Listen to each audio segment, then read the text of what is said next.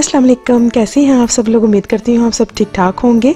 आज मैं आपके लिए एक और ज़बरदस्त हेल्दी ड्रिंक लेके आई हूँ। ये बहुत टेस्टी मिल्क शेक बनता है। ये बनाना कोकोनट मिल्क शेक है। इसको बनाने के लिए हमें जो चीज़ें चाहिए, वो आप नोट कर लें। उससे पहले अगर आप मेरे चैनल पर नए हैं तो मेरे चैनल को सब्सक्राइब कर लें। वीडियो अच्छी लगे तो इसे अपने फ्रेंड्स और फैमिली के साथ ज़रूर शेयर करें। तो चले आए बनाना शुरू करते हैं। सबसे पहले हमें आइस क्यूब चाहिए, चार लार्ज साइज़ की मैं ले रही हूँ, आप हंसपे ज़रूरत ले सकते हैं।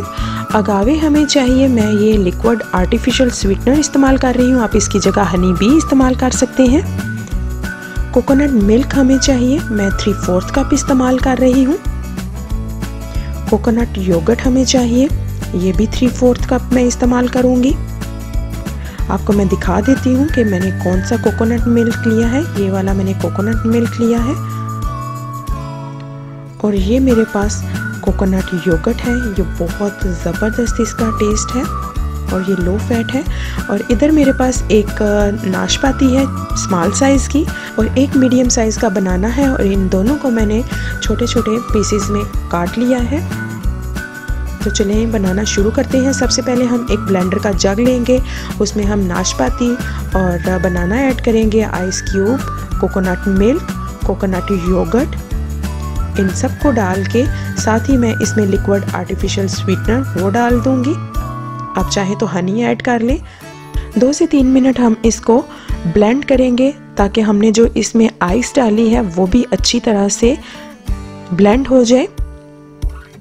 ये बहुत टेस्टी शेक बनता है। आप इसको ज़रूर ट्राई कीजिएगा। आप ये देख सकते हैं। ये डन हो गया है। अब हम इसको ऑफ़ कर देंगे। और ये देखें शेक हमारा रेडी हो चुका है, कवर को हटाएँगे और इसको हम ग्लास में डालेंगे। आप देख सकते हैं इसका टेक्सचर कितना थिक सा है और ट्रस्ट में ये बहुत टेस्टी भी बनता है। आप इसको ब्रेकफास्ट में भी ले सकते हैं लंच में भी ले सकते हैं। उम्मीद करती हूँ आपको ये कोकोनट बनाना शेक बहुत पसंद आएगा। आप इसको ज़रूर ट्राई कीजिएगा और मुझे अपना फीडबैक ज़रूर दीजिएगा। अगर आपको मेरी ये वीडियो अच्छी लगी तो मुझे कमेंट्स करके ज़रूर बताइएगा। मेरे चैनल को लाइक कीजिएगा सब्सक्राइब कीजिएगा।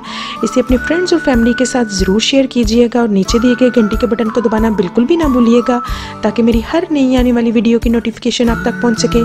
अल्लाह ताला आपको ढेरों खुशियों से नवाजे, अल्लाह ताला आपकी तमाम नई ख्वाहिशात को पूरा करे। अल्लाह ताला आपको अपने हिफ्स मान में रखे। मुझे अपनी दुआओं में याद रखिएगा। मेरी नेक्स्ट वीडियो तक के लिए फ़ी अमान अल्लाह।